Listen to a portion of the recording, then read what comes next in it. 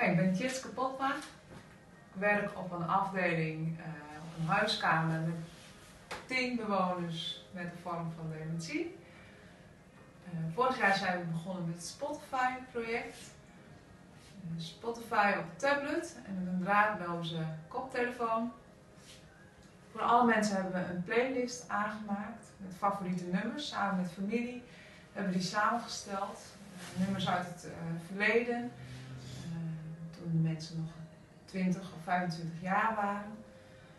Ehm, we merken dat de mensen daar ontzettend veel van genieten. Uh, bij een mevrouw uh, die eigenlijk heel veel moeite heeft met het communiceren uh, op verbale wijze, die dat eigenlijk alleen nog maar non-verbaal doet, merken we dat het haar weer meer woorden brengt. Ze geniet veel meer. ze ontspant erdoor.